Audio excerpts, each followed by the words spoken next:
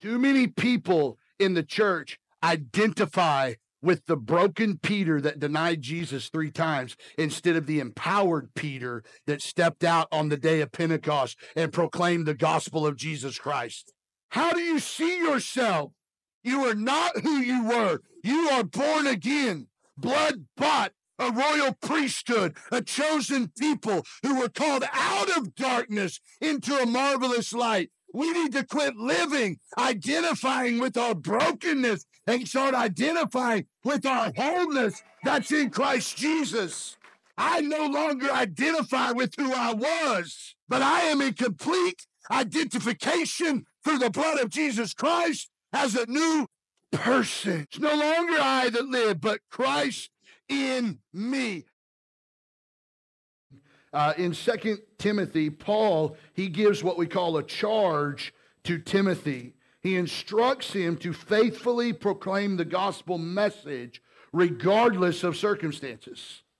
Regardless of what's going on around him, regardless of what's happening, he calls him to faithfully proclaim the gospel no matter whether he's up, down, no matter the situation. So, as you're turning with me to Second Timothy, we're going to be in chapter 4 uh, this morning, and I'm going to read a little bit of what Paul said to him, and then we're going to look at the words of Christ as well this morning. But Paul says this to begin He says, I charge you in the presence of God and of Christ Jesus, who is to judge the living and the dead, and by his appearing and his kingdom, preach the word. Preach the word. Be ready in season and out of season.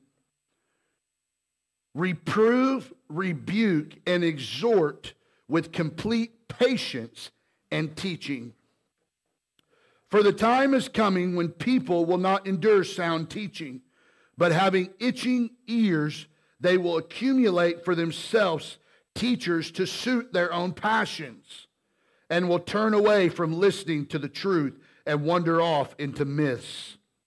As for you, always be sober minded, endure suffering, do the work of an evangelist, fulfill your ministry. For I am already being poured out as a drink offering and the time of my departure has come. I fought the good fight. I have finished the race. I have kept the faith. Henceforth, there is laid up for me the crown of righteousness, which the Lord, the righteous judge, will award to me on that day, and not only to me, but also to all who have loved his appearing. You know, I, I, like so much of what's in here, but even that last part there, I want everyone in this room to understand something that all those who have loved his appearing, when he comes to receive us, you are going to receive a crown of righteousness.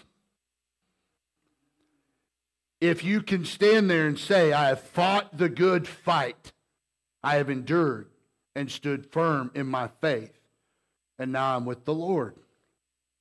Now we know we're going to lay those back at his feet because we are not worthy. Only one is worthy to wear a crown. But nonetheless, there is a prize that's greater than anything you could lay your hands on on this earth. There's no car, there's no house, there's no, there's no job, there's no amount of money, there's no relationship, there's no amount of kids. Then all those are good things and they bring joy to our life in certain areas and certain times. But none of them compare to that moment where you will stand before Jesus himself and he will look at you and say, Job well done thy good and faithful servant. Nothing compares to that moment. I believe that's why Paul, when he said, uh, he said, Our present sufferings do not compare to our future glory in Christ Jesus. And so we see these words that Paul wrote to Timothy, but I, I want to look at another time where people were commissioned, and that's in Luke chapter 10. In Luke chapter 9, Jesus, he commissions the 12 disciples to go out and preach the gospel. But then in Luke chapter 10, he gathers the 72 to him. These were not the 12 disciples, but these were men and women who followed him as disciples that served. And so these 72 people, he stands before them in Luke chapter 10 and verse 1, and he says, After this, the Lord appointed 72 others and sent them on ahead, two by two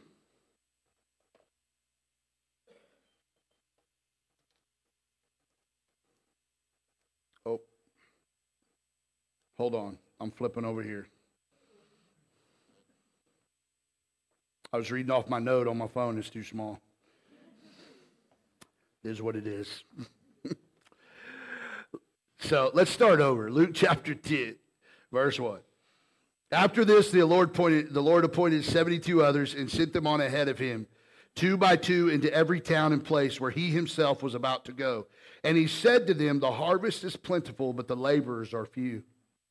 Therefore, pray earnestly to the Lord of the harvest to send out laborers into the harvest. Go your way. Behold, I am sending you out as lambs in the midst of wolves. Now, he goes on to tell them not to take anything with them, uh, you know, not to take money, not to take, not to take extra things and he tells them that if they go into a town and they're received to stay there and do the ministry but if they go into a place and they're not received to to leave to dust dust off their feet and to go to the next place. So he gives them further instructions. But what I want to focus on just here for just a minute is two things that Jesus spoke that I want to speak to every one of us. The first one is the harvest is plentiful, but the laborers are few. The harvest is ripe. It's ready. What does that mean? It means that there are millions and billions of lost souls out there that are ready for someone to share the gospel with them. They are ready for someone to tell them about the love of Christ. They are ready for someone to come along and say, Do you know Jesus? The harvest is ripe, but the laborers are few. And, and I think that that should bring, you know, God is not a God of condemnation for those that are in Christ Jesus. But I think as a church, as the body of Christ, we should feel a little bit of angst when we read something like this that says, listen, the harvest is plentiful, but the laborers are few. I think for us that live here in Lawrence, when we see the statistics that say there's 100,000 people in our city and less than 5% of them are born again believers. Why are there so many lost in our city? You want to know the truth? Because there's so few laborers. The majority of people do not take the gospel message outside of these four walls in their life.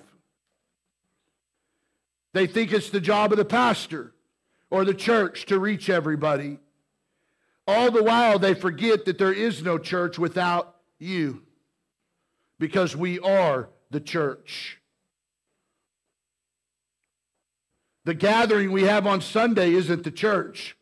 This is a gathering of believers, unbelievers, people that came to, to for different reasons and purposes. But this isn't the church. The gathering is at the church. The church is the body of Christ. And so we need to be able to take the message of Christ outside of these four walls, guys. Come on it's an indictment on the church that there's so many lost people around us. If you work at a job and you have not told someone about the love of Christ, I challenge you today to check yourself with the Lord. Why haven't you? Why haven't you? You, you want to know the truth?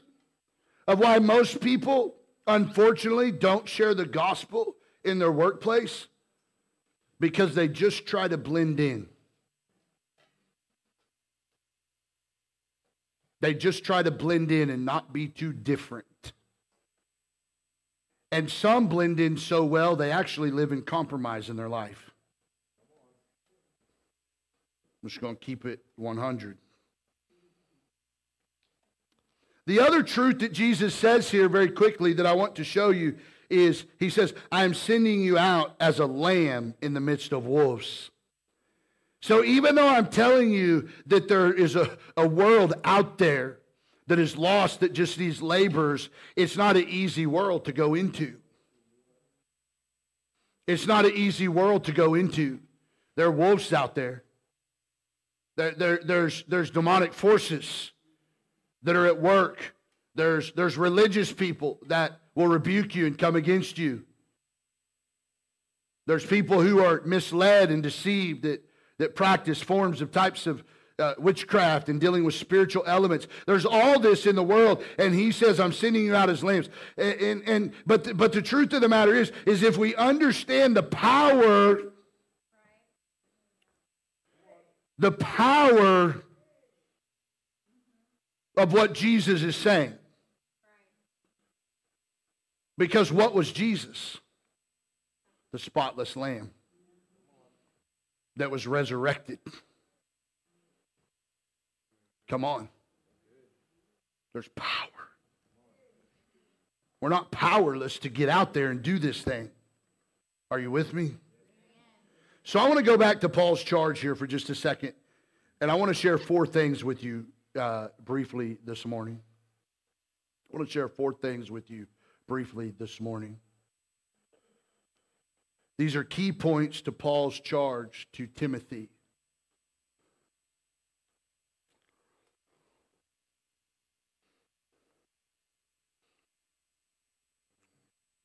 Hold on, let me pull up my notes. I thought I had them back there where I could see them on the big screen.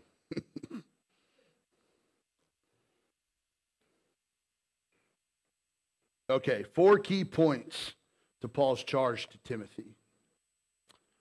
Number one, boldly proclaim the gospel. Boldly proclaim the gospel. I speak that to you guys sitting here in front of me. Boldly proclaim the gospel. Do not shy away from sharing the truth of the Christian message, even when it's difficult even when it's not easy, even when everybody's not a fan, even in every even when everybody isn't in love with you, even when even when people around you are living like the devil. And you're like, "Man, I don't know if I want to be the guy that they look at and say, "Oh, there's that Christian." Come on. You better want to be the person that says, "I'm the Christian."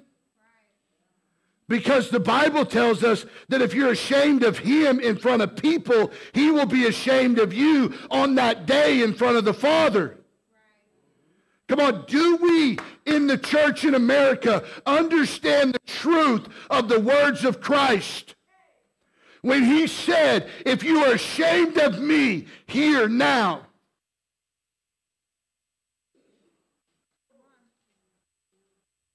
So if we're standing up and saying, I don't want to be seen as the Christian, that is sinful. And you need God to do something inside of you to set you ablaze with the love of Christ that you once knew because you've become lukewarm in your Christianity.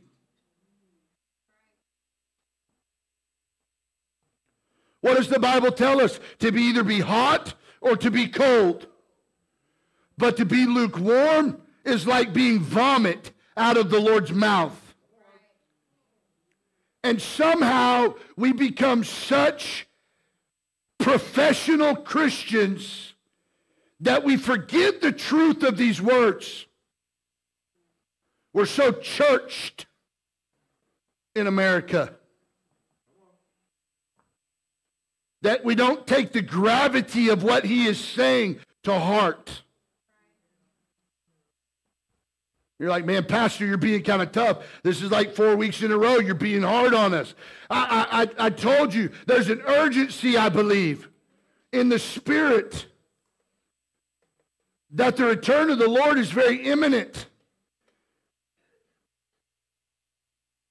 And, and all of you standing here in front of me, you need to know very truthfully what I'm about to say that I will give an account one day for how I handled what I was entrusted with as a pastor and a preacher. And so, so guess what? That means if God says, you're going to be a little tough for the next four weeks, then I'm going to be a little tough for the next four weeks. Because I'd rather deal with you being a little bit upset with me than having a, my God upset with me. Okay? I'm just going to keep it real for a minute. We can work it out. I'd rather have to work it out with you than get whipped by God. I'm just going to tell you. Boldly proclaim the gospel. So rather than just read that verse to you, I'm boldly proclaiming the gospel this morning.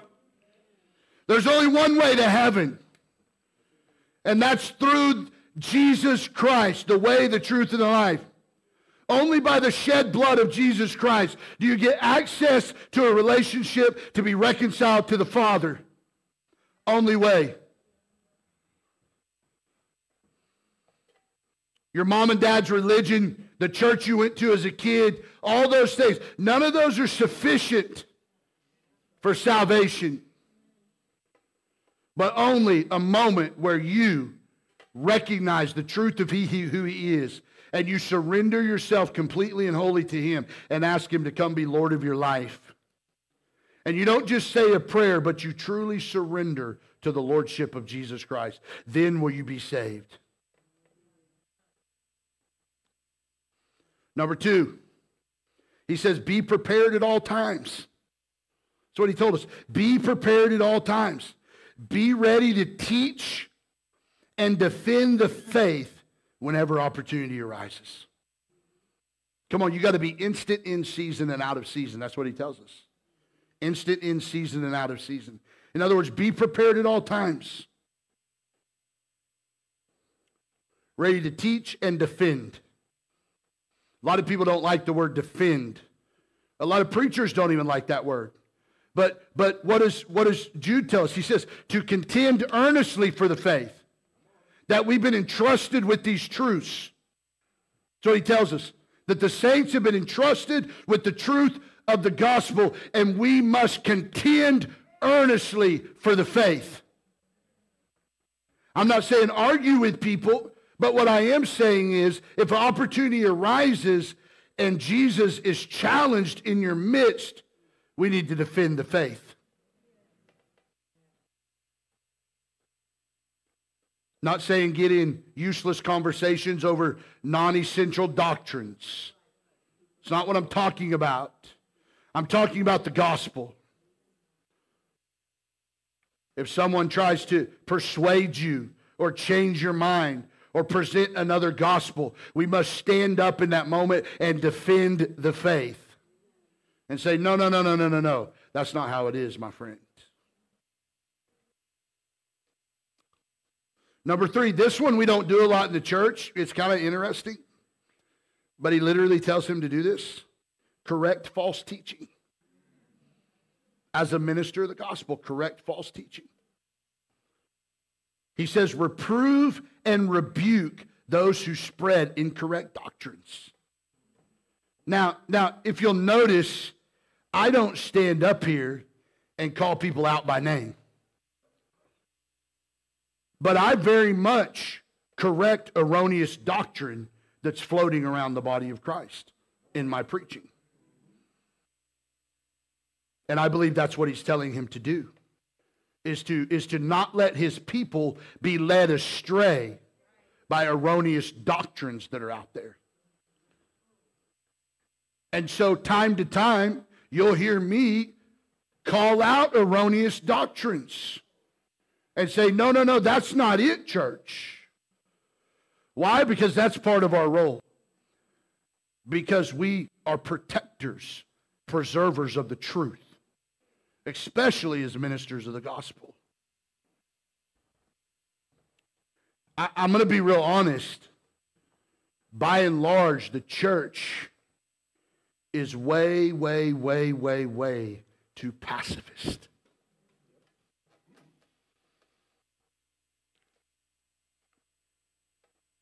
Way too pacifist.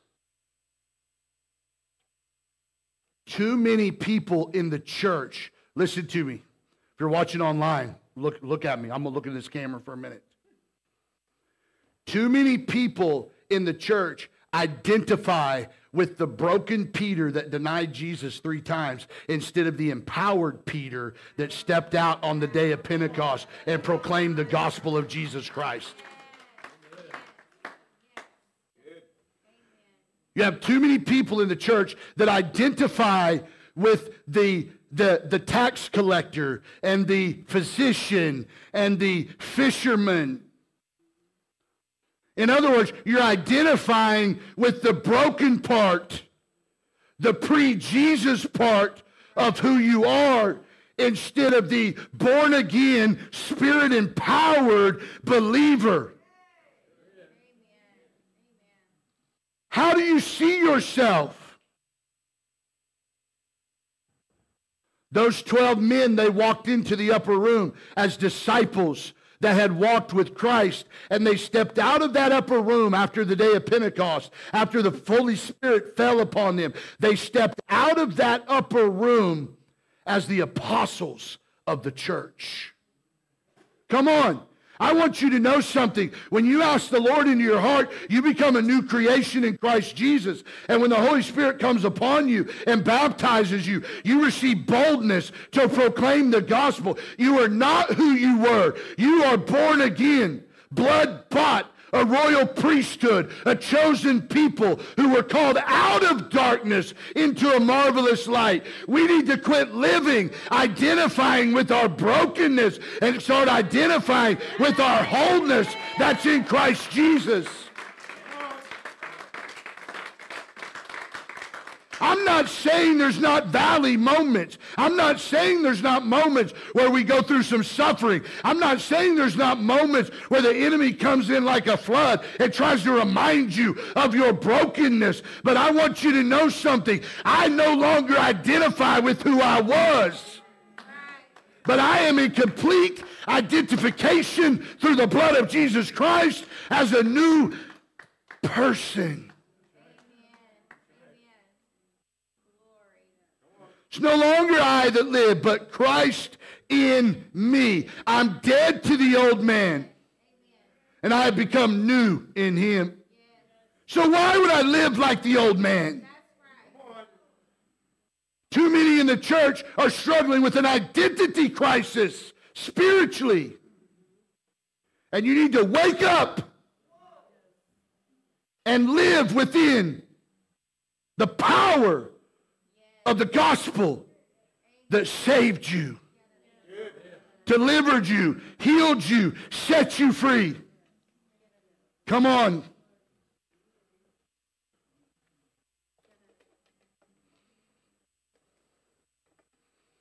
Mm-hmm. The suit got me wanting to go old school. Preach some of that old time religion. Come on. If I had a tie on, it'd be over with.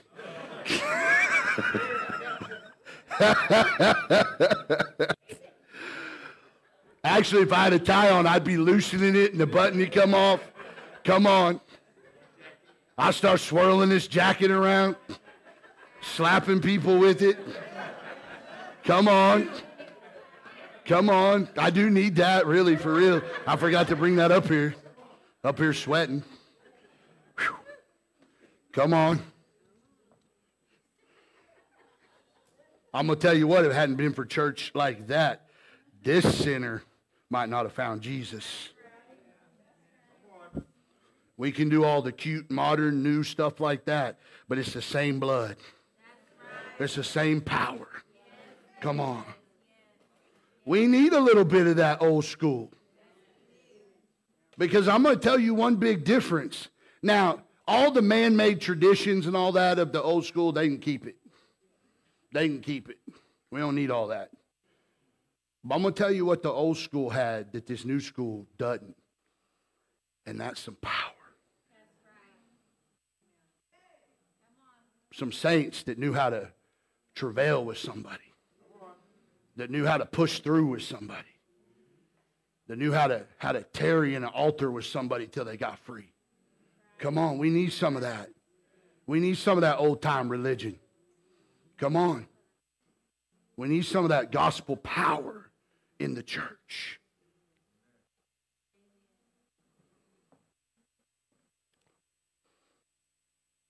Hallelujah. I said four, but it's five things. and I'm almost done. What does it mean when a preacher says he's closing? Nothing.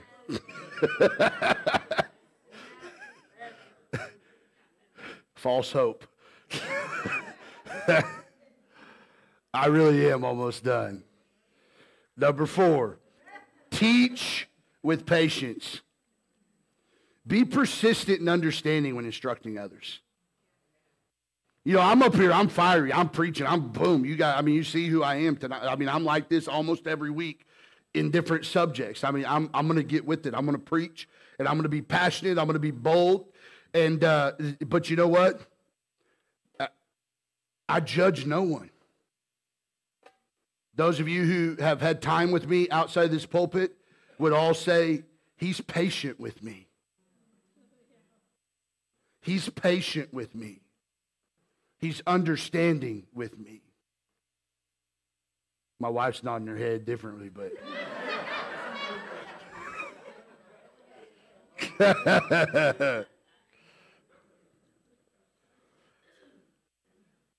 because even though I proclaim boldly, I understand we're all at different places in our life. I'm trying to call you higher. I'm preaching so that you'll come up. I'm not, I'm not coming down to where you are to make your circumstances okay. I'll come where you are and set with you in your circumstances, but I'm going to preach you higher. Okay? That's the difference. I'll be patient with you, but I'm pulling you at the same time to come up. Come on. Teach with patience. Understand who you're dealing with. Not everybody's at the same place in their walk with God. Not everybody's at the same place with their walk with God. And lastly, live a godly life. So he, tells, he says, live a godly life. Model Christian behavior that reinforces the message you preach. I'm going to say that again. Model godly behavior that reinforces the message that you preach. Come on. Live a godly life. I really want to dig into this, but I don't have time this morning. We might have to talk about this a little bit next week. But live a godly life. Listen, there's a standard that we must keep. And I will be the first to admit I have failed to keep that standard at times in my life. I'm not going to stand up here and pretend to preach a holier than thou message that says, oh, do everything that I do. I'm so holy and yada, yada, yada. I'm not even going to pretend to be that in front of you. I make mistakes. I've messed up. I've made some big mistakes. I, have done things even as a as a, a minister that I wish I could take back that weren't the best versions of me. But you know what I've learned in all those moments? I learned the words of Paul ring very true. One thing I have learned is I do not look back, but I press on. But I press on to the prize of the high calling of Christ that's in me. Paul said, I don't know why I do the things I do. I don't know why I, my, my spirit says do this and my flesh says this. I don't know why. Why do I indulge sometimes? Why do I mess up sometimes, Paul is saying. It's like, I don't know why I do the things I do sometimes. He says, but one thing I've learned don't look back. Because when you look back, you're trapped. How many guys said, I've lived trapped before? Yeah, we all have. Come on, the traps are behind you. The gospel's in front of you. The cross is before you. Come on. A meeting in the air for some of us is in front of us. For some of us, we'll go to be with the Lord before that day. But that's what's in front of us. Behind me is the traps of life. Come on. So I stand here today and I say, live a godly life. Hold to a standard in your life. And when you mess up, get on your knees before the Lord. Say, forgive me. Forgive me. Repent. Repent means to turn away from. So, so, so I say this. Never run away from God, always run to God. Even in your frailty, in your weakness, in your humanity, in your mistakes, in your brokenness, in the moments you failed. Never run away from God, but always run to God because in God's embrace is the forgiveness and the love that you need to press on.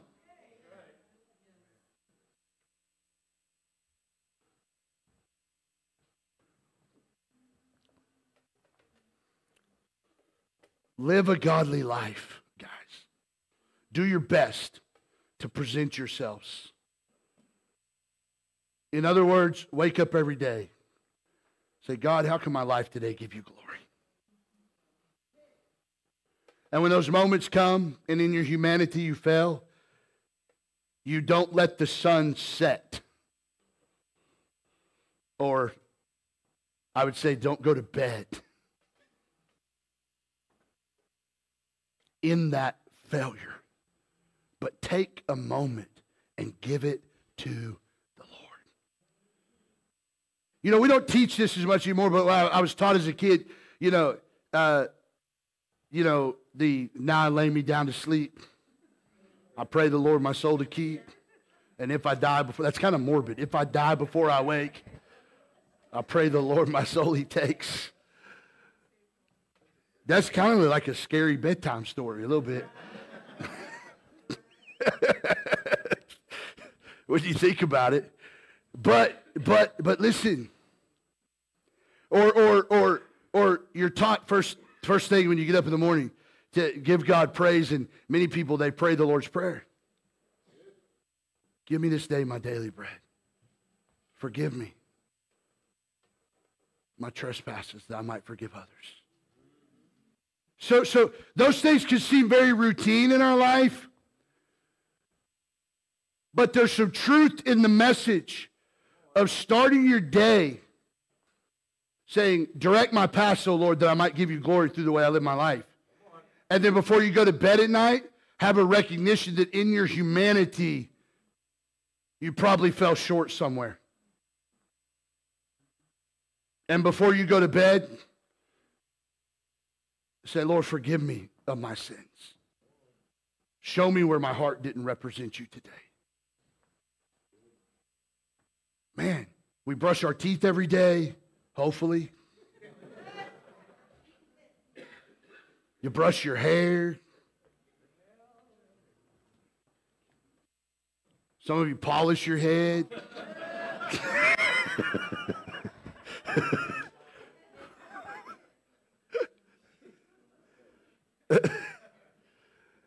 we have all these routines.